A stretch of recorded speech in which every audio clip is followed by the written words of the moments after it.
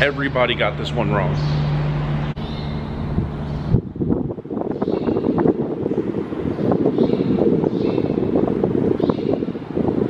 Okay, we're playing on a Wednesday, the 22nd. A game breaks, the two and the three seed come over from the broken game. I had never seen either of those two guys. The other six of us, you know, I see most of them almost every day. The rest are locals, including me, I guess, if I'm a local around here.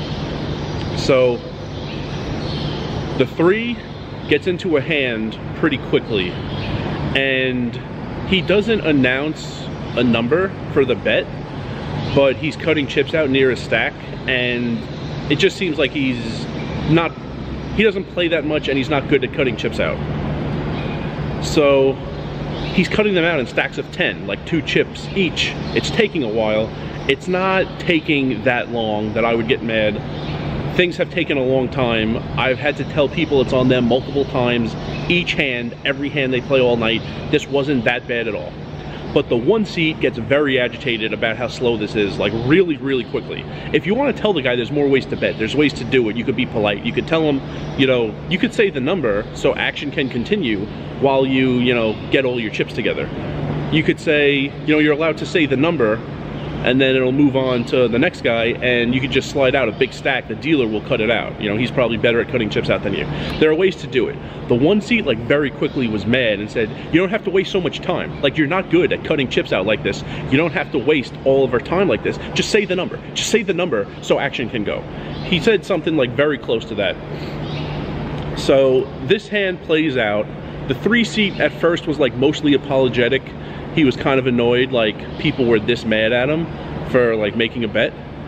And at first he was like okay with it. But the one seat like wouldn't let up and kept trying to tell him like how much time he's wasting. And the three seat started becoming not so apologetic about it. It gets to the point where the three seat puts out six dollars for some reason or he counted to six in spanish. I don't remember why if there was like a six dollar straddle he was calling or something. He counts to six in spanish because everyone's telling him you know just announce the number. He counts to six in spanish.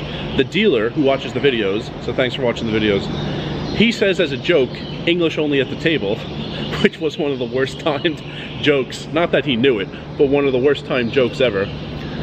The three seat then says about the one seat well what about him? His english isn't good. Which is true.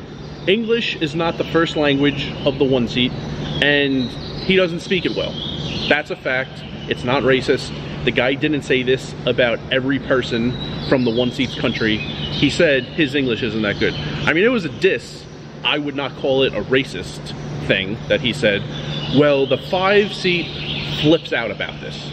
He was already backing up the one seat, I guess, because they're both both locals. And at this point, he says, don't talk to the I don't want to say their names. Don't talk to the one seat about this. That's my boy. All right, don't talk to him like this. And he winds up threatening him with physical violence, which he claimed later never happened, but it happened. The six also thought this was one of the worst racist comments of all time. He wasn't saying a ton, but he did think that was a racist comment and it was unacceptable. So the floor gets called. The floor, you know, you never know what happened if you weren't really there. So the floor gets called. He tells everyone to stop he says, uh, you know, if he has to come back, someone's getting ejected, maybe even the whole table. So he leaves. The next hand, the one and the three, get all in, the three wins. Important for purposes of understanding that now the three seat is sitting on 750. So a few hands go by, and the one, the five, and the six are still like not talking nicely about the three seat, and he's getting more and more agitated. It gets to the point a couple hands later where the three seat makes a bet and he announces. He announces 80 and then gets a bunch of chips. And you know the three seat looking at the dealer the one seat isn't quite you know in your line of view but he like turns his head to the one and says can i count my chips out now? Well the one seat lost it. He stood up. The dealer kind of like prevented him from like standing the whole way up. And it looked like they might fight if the dealer didn't do anything. The floor gets called. The floor kicks out the three seat which I mean, it's not his fault. He wasn't there for any of this. The one, after he leaves, you know, the one and the five and the six think this is one of the greatest, you know, ejections of all time. If you're wondering, the five seat has been banned before, the six seat has been banned before.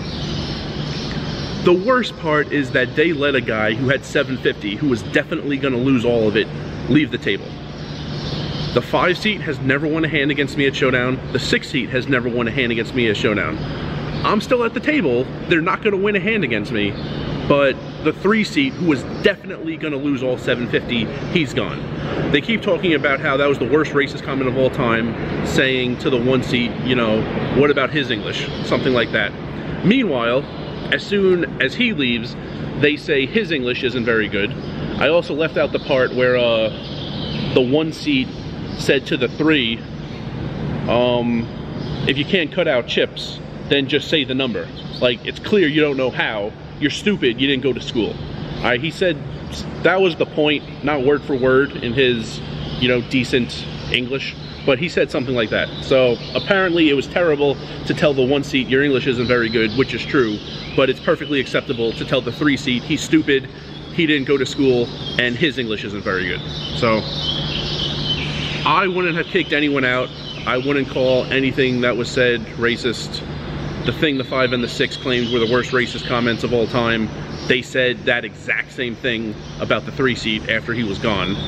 Um, and worst of all, he left with a 750. Um, I was actually telling a, a friend of mine uh, a couple months ago, I am willing to accept almost anything at the table short of like racist comments. Like that's a big one. There are a few things that are unacceptable. Racist comments is one of them. But that wasn't racist to me. Like I'm willing to let a lot of other things go because you know the guy is terrible and he's going to lose all of his money.